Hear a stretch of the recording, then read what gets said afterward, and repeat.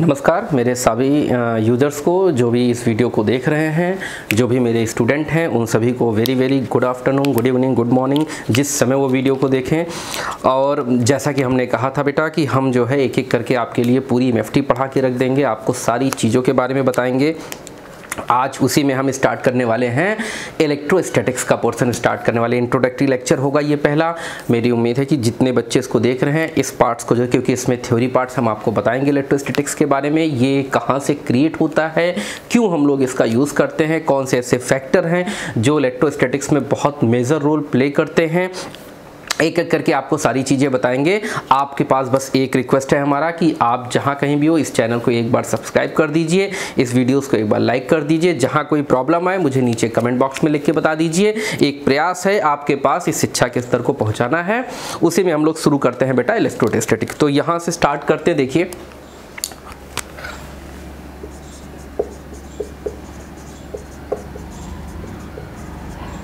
बेटा देखो। यहाँ पे जो है, ये दो टर्म से मिलके बना हुआ है।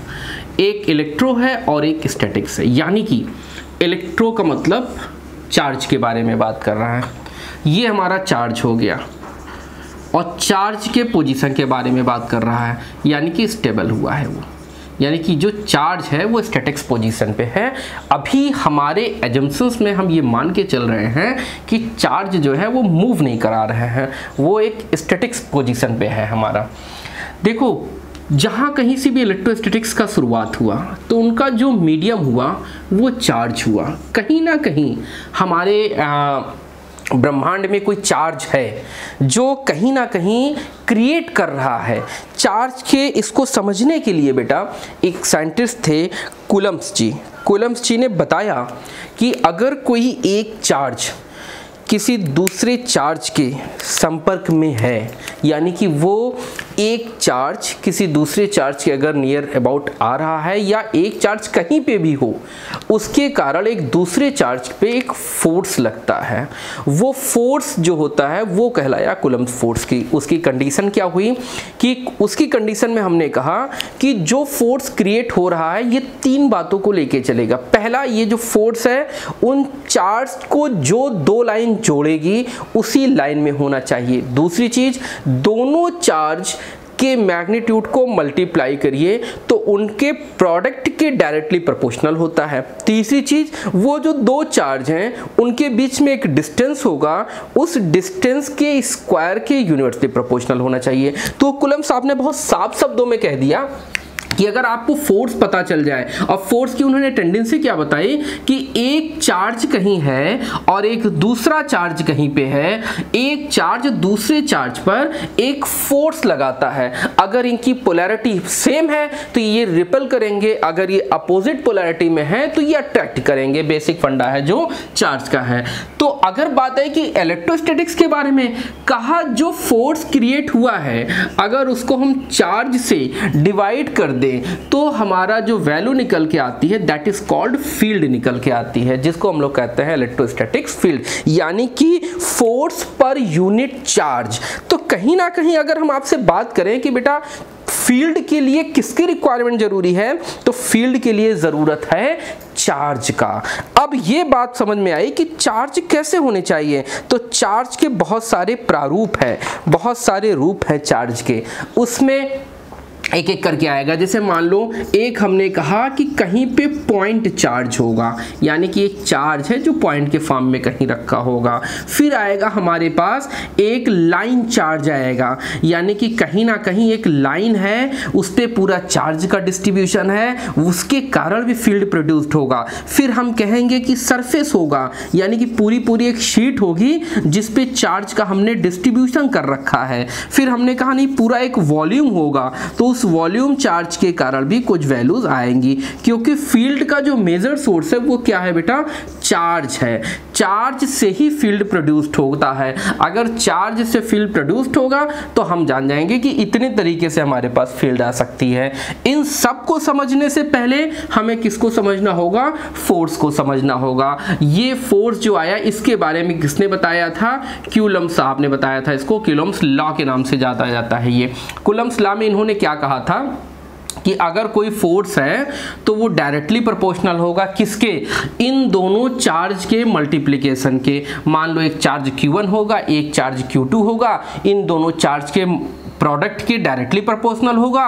ये जो फोर्स होगा हमारा, ये इन दोनों चार्ज के बीच के डिस्टेंस के स्क्वायर के यूनिटली प्रोपोर्शनल होगा।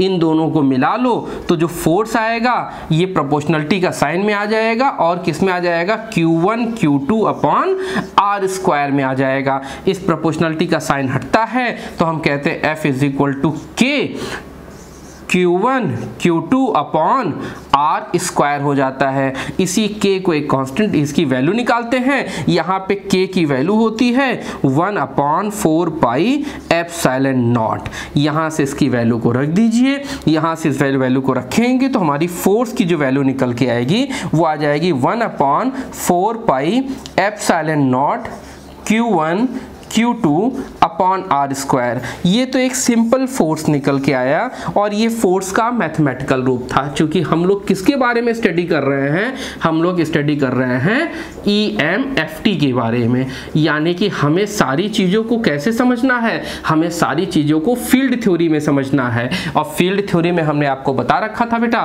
फ़ील्ड थ्योरी का जो प्लेटफॉर्म था, वो क्या था? वेक्टर था। यानी कि अब इसी फोर्स को हम वेक्टर के फॉर्म में समझ समझेंगे। फ़ील्ड को हम वेक्टर के फॉर्म में समझेंगे, तब उसकी वैल्यू को हम लोग कैलकुलेट करेंगे। तो देखिए इसको कैसे होता है ये।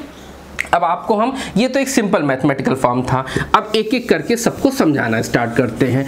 कुलम्स ला के बारे में हमने बताया कि जो दो चार्जेस हैं उनके प्रोडक्ट के डायरेक्टली प्रोपोर्शनल होता है, जो उनके बीच का डिस्टेंस है, उसके स्क्वायर की यूनिटली प्रोपोर्शनल होता है। अब इसी को वेक्टर एनालिसिस से समझने की कोशिश करते हैं।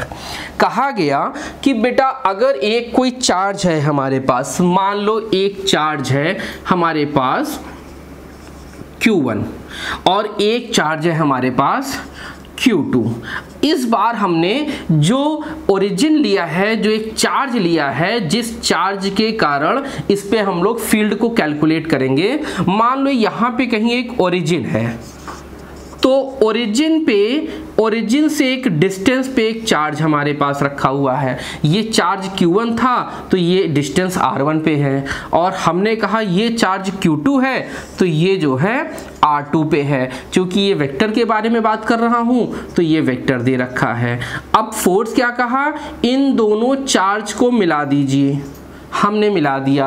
और इन दोनों चार्ज को अगर हम मिलाएँगे तो ये जो डिस्टेंस होगा, मान लो इसको कैपिटल आर हमने मान लिया। इसकी पोजीशन कैसे निकालेंगे? वन टू से निकालेंगे। ये भी एक वेक्टर होगा। वेक्टर का मतलब अगर हम आपसे कहें, बेटा आर वन है ये प्लस आर वन टू है सिंपल सा एक का हेड दूसरे का टेल तो ये किसके बराबर हो जाएगा? रिजल्टेंट के बराबर हो जाएगा। यानी कि यहाँ से कैपिटल आर वन टू की वैल्यू निकाल लो तो बेटा कितना हो जाएगा? R one minus r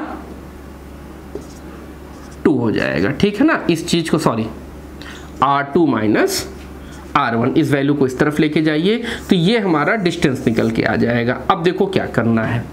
हमने कहा कि अगर एक चार्ज है और एक कोई दूसरा चार्ज है according to the Coulomb's law के एक चार्ज दूसरे चार्ज पे एक फोर्स लगाता है। मान लो, चार्ज Q2 ने चार्ज Q1 पर फोर्स लगाया।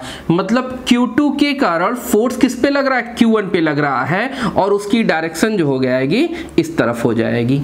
तो हमने कहा, ये जो फोर्स है, ये कौन सा फोर्स है? F किसने लगाया है? टू ने लगाया है। किस पर लगाया है? वन पर लगाया है। और फोर्स हमें पता है कि वेक्टर क्वांटिटी होती है। ठीक है। अब आपने कहा, नहीं, इस चार्ज के कारण इस पे भी तो फोर्स लग सकता है। हमने कहा, वेरी गुड, लग सकता है बेटा। ये हमने फोर्स लगा दिया। अब आपकी फोर्स हमने कौन लगाया है? Q1 ने लगाया है। किस पे लगाया है? टू पे लगाया है। वैसी वर्षा देखो, ये जो फोर्स था F21 Q2 ने Q1 पर लगाया। तो Q1 हो गया। अब कि Q1 Q2 पे लगा रहा है। तो हम कहेंगे ना कि ये फोर्स लग रहा है। अच्छा इसी को मैथमेटिकल अगर समझने की कोशिश करते हैं तो F12 की वैल्यू कितनी हो जाएगी बेटा? According to the Coulomb's law के अकॉर्डिंग देखें तो ये फोर्स जो है डायरेक्टली प्रोपोर्शनल है किसके? दोनों चार्ज के प्रोडक्ट के डायरेक्टली प्रोपोर्शनल होता है। ये जो फोर्स है हमारा, ये डायरेक्टली प्रोपोर्शनल होता है किसके? इनवर्सली प्रोपोर्शनल वन अपान इनके बीच के डिस्टेंस के स्क्वायर के प्रोपोर्शनल होता है। बात समझ में आया? जो भी वेक्टर आया है, उसके बीच का उसका एक मैग्नीट्यूड होगा, उसका स्क्वायर कर देंगे। अब आपको क्या करना है? इन दोनों क्वेश्चन को मिला लेना है। तो हमने फोर्स निकाला है।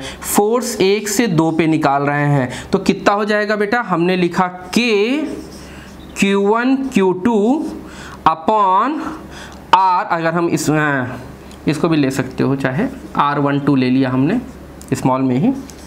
आर वन टू का स्क्वायर अच्छा ये तो वेक्टर क्वांटिटी है ना, ये तो पूरा मैग्नीट्यूड है तो इसका डायरेक्शन भी तो होगा, इसका डायरेक्शन यूनिट वेक्टर एक से दो की तरफ़ होगा। तो यानी कि फोर्स का फार्मूला क्या निकल के आया बेटा? फोर्स चार्ज Q1 ने चार्ज Q2 पर लगाया है। Force on Q2 on Q2 due to Q1 के कारण लगा है। तो के Q1 Q2 अपॉन R12 का होल स्क्वायर और ये हमने यूनिट वेक्टर लगा रखा है। अच्छा हमने आपको बताया था बेटा A12 की वैल्यू होती कितनी है? ए वन टू की अगर हम वैल्यू बात करें तो ये हो जाएगा डिस्टेंस के रिस्पेक्ट में बात कर रहा है। तो यूनिट वेक्टर डिस्टेंस के रिस्पेक्ट का मतलब क्या हो गया? वेक्टर आर वन टू का vector upon r of one two के। चाहे इसको हमने स्मॉल में दिखाया, ठीक है ना? अब क्या करिए? इस वैल्यू को यहाँ पे रख दीजिए। तो देखिए क्या निकल के आएगा? एफ़ वन टू वैक्टर की वैल्यू के की वैल्यू हमने आपको बेटा अभी बता रखी थी। One upon four pi F naught charge कितना है?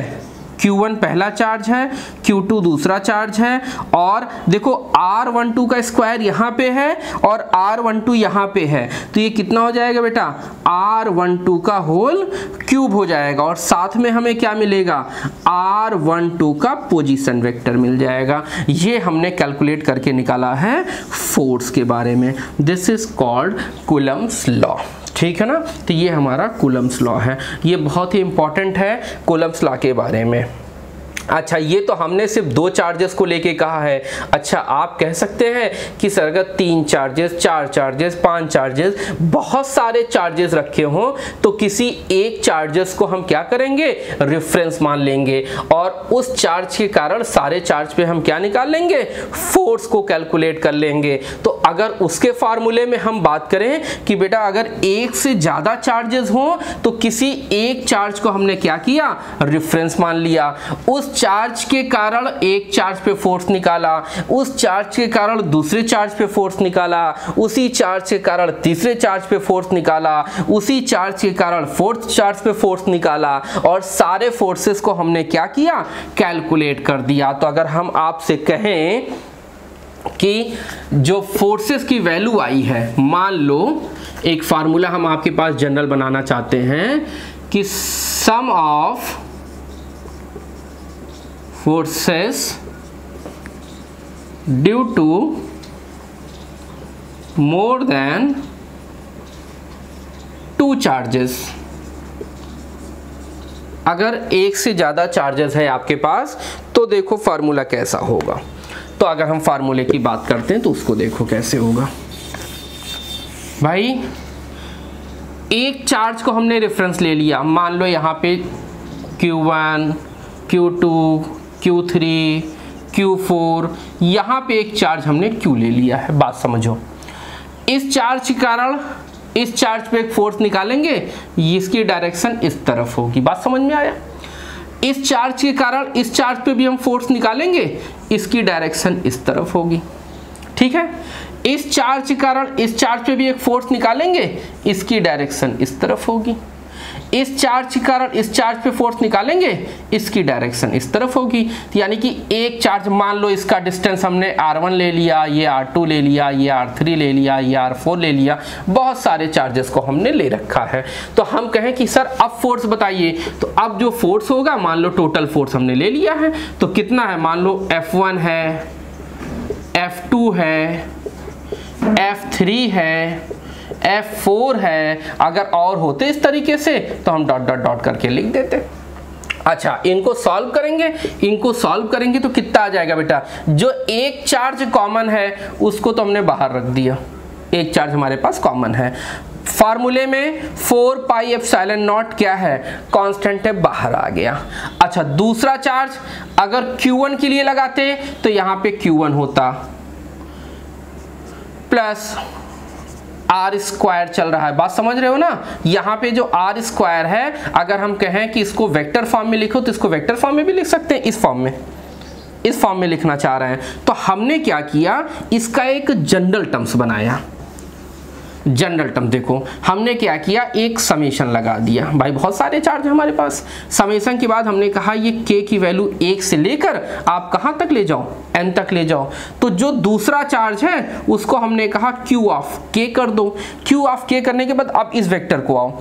आर वन टू की वैल्यू बेटा हमने कितनी निकाली थी? आर वन टू को अगर कैलकुलेट करो, याद ना हो तो फिर से देख लिया करो। कोई दिक्कत नहीं है। ये क्यू वन का था, ये क्यू टू का था, ये आर वन था, ये आर टू था, यहाँ से आर वन टू निकाला था हमने। तो कितना आया था? आर वन टू की वैल्यू अगर देखो बेटा, कितना जाएगा? ये आ जाएगा R two minus R one आ जाएगा। ठीक है ना? तो देखो क्या कहना चाह रहा हूँ। ये हमने क्यू टू निकाला। अब इसके बारे में लिख रहे हैं। तो तो इसके बारे में लिखेंगे तो हमें क्या चीज़ निकल के आएगा? हम इसको लिख सकते हैं, सिर्फ़ इतने को देखो। आर वन टू का मतलब क्या? R two minus R one है ना? तो R two minus R of के लिख सकते हैं ना? अगर हम कंपैरिजन की बात करें तो R2 माइनस आर ऑफ़ के आर टू से चाहिए नहीं सॉरी ये डायरेक्टली R R माइनस अब देखो यहाँ पे के वन रखोगे तो R1 K2 रखोगे तो R2 K3 रखोगे तो आर थ्री साथ में क्या रहेगा? साथ में हमारा रहेगा आर माइनस आर ऑफ़ के का मॉड कौन सी वैल्यू आएगी? होल क्यूब आएगा। देखो। जो यहाँ पे वैल्यू निकली है आर वन टू निकला है ना? आर वन टू देखो हमने यहाँ पे निकाल रखा है R two minus R one तो इसी का तो क्यूब है यहाँ पे। इसी का तो ये क्यूब हमने लिख रखा है। आर वन टू का क्यूब की अगर हम बात करें तो देखो कुछ इस तरीके से लिखे हैं हम। Mod of R two minus R one का होल क्यूब लिखा है। और ये जो आर वन टू लिखा है ना, इसको हमने कैसे लिखा है? ये R two minus R one लिखा हुआ है। देखो, उसी को हमने ब्रेक करके लिख दिया है। अब इसी से हम जनरल फार्मूला बनाना चाह रहे हैं। K की वैल्यू वन रख दो। K की वैल्यू वन रखने का मतलब एक चार्ज ये है और एक चार्ज तो हमारा क्यू था ही। भाई कोलम्स ला तो तभी लगेगा ना, जब कम से कम दो चार्ज हो। एक चार्ज में थोड़ी कोलम्स ला लगेगा।